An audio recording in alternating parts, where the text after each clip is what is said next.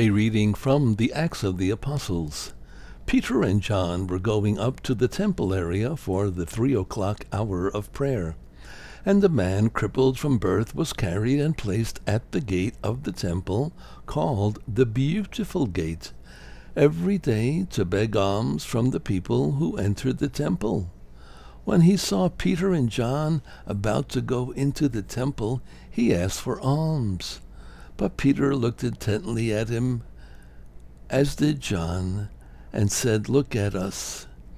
He paid attention to them, expecting to receive something from them.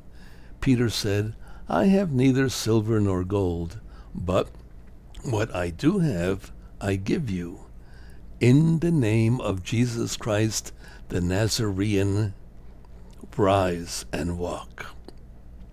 Then Peter took him by the right hand and raised him up and immediately his feet and ankles grew strong. He leaped up, stood, and walked around, and went into the temple with them, walking and jumping and praising God. When all the people saw the man walking and praising God, they recognized him as the one who used to sit begging at the beautiful gate of the temple. And they were filled with amazement and astonishment at what had happened to him. The word of the Lord. Thanks be to God.